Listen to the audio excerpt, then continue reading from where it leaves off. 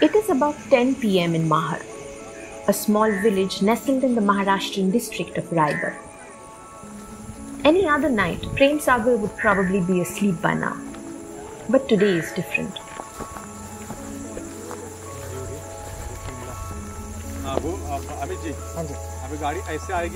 He, along with his group of volunteers, is making preparations in anticipation of a particular truck one that is about to arrive with a buffalo carcass.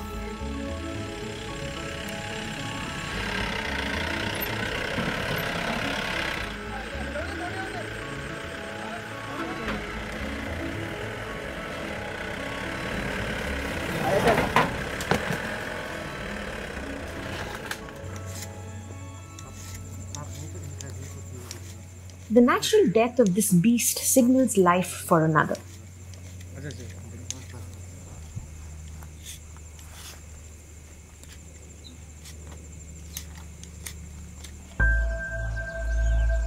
Come daylight, its meat will be carefully placed here, an open foraging ground, as a feast for Mahad's slowly reviving vulture population.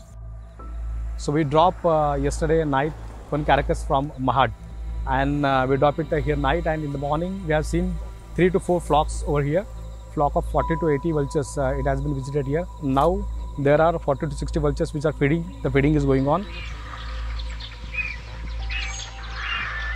Ironically, over the years, these vultures in Raigad have been compelled to depend on their human friends to scavenge for them. A cruel twist of fate, the beginning of which could be traced back to the 90s. From the long-billed to the Eurasian griffon, there are nine recorded vulture types endemic to India. At their peak in the 80s, these species collectively numbered over 40 million and were common sights on trees, rooftops, and electric poles. In the mid 90s, however, their population nosedived by almost 90%, leaving only 19,000 surviving vultures by 2017. Experts have attributed the mass deaths to diclofenac, a popular veterinary drug used to treat inflammation in cattle. 51 year old Prem Sagar, founder of an NGO dedicated to vulture conservation, explains how this drug wreaks havoc on a vulture's digestive system. that drug uh, it uh, remains in uh, muscles of that uh, carcasses. When the cattle died uh, maybe two or five or more injections uh, it deposits that diclofenac whatever the remains in the muscles. And when the vultures they feed that carcasses the diclofenac enter into their gut. And they got the swelling of gut gut problem then the uh, swelling of stomach and the kidney failure and so the bird became dizzy and it mm, fell down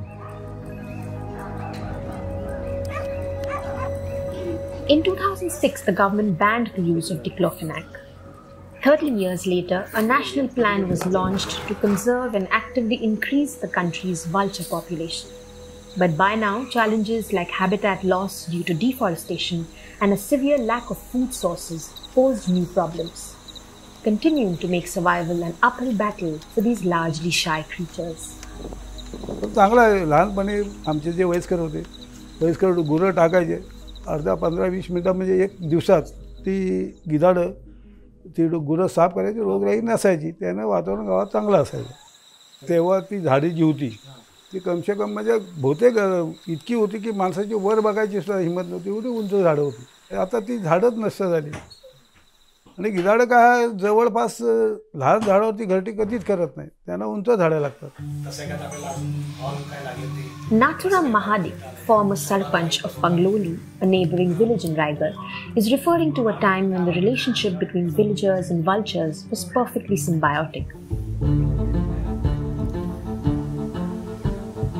Today, native wild trees that once served as vulture habitats have been replaced by large scale cash crop plantations changing the dynamic from coexistence to one of conflict.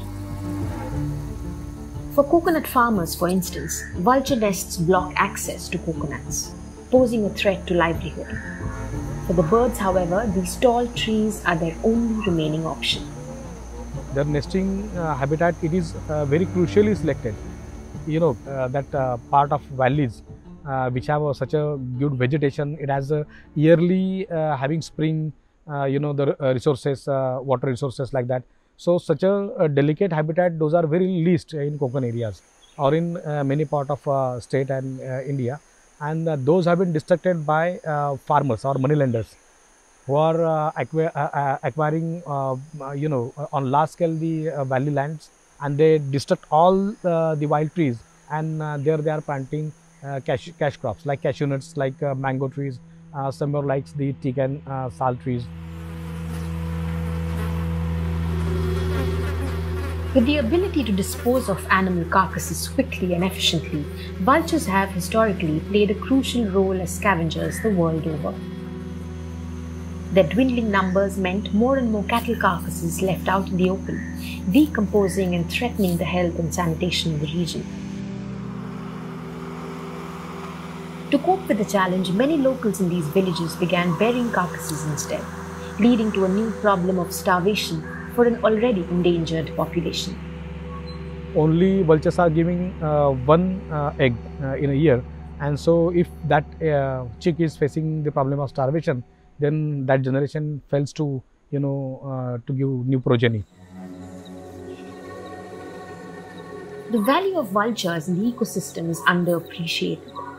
Their diet is mostly one of carrion, and their strong stomach acids are able to kill bacteria and viruses that would otherwise be transmitted to humans as well as spread among wild animals. The metabolism of vultures is considered a true dead end for pathogens, and unlike dogs and rats, these birds don't become carriers of disease.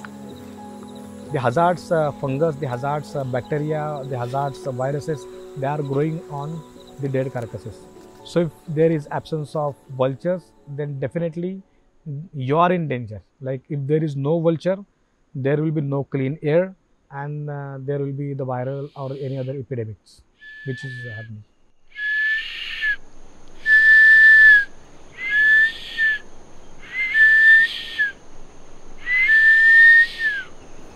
that is the juvenile call.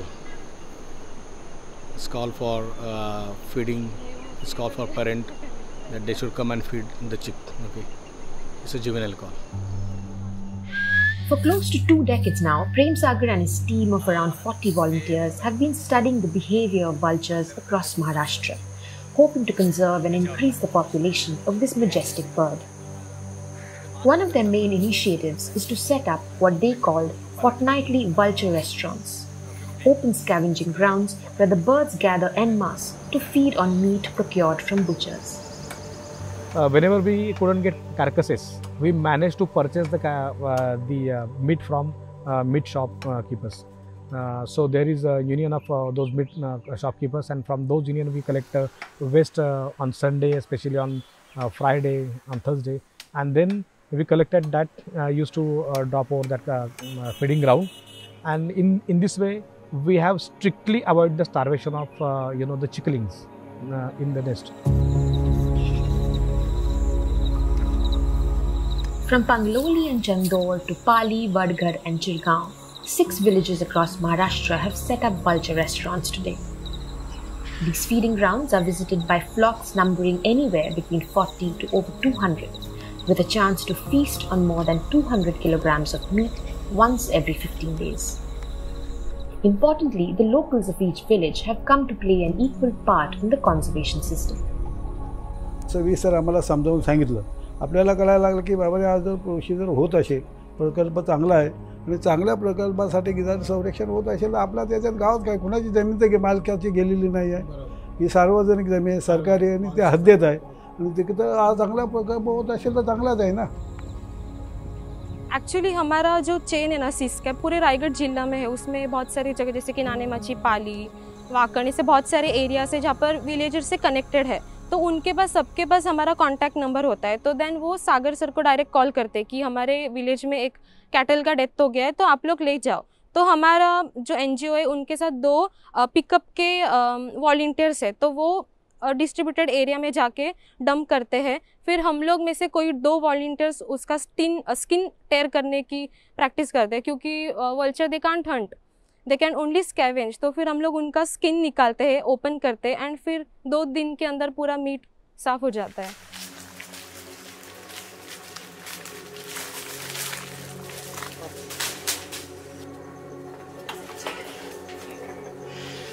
So far, this collective effort of feeding, rescuing, and treating the injured has managed to push the vulture population, particularly of the white rumped and long billed vultures, from 22 in 1999 to over 338 in 2021.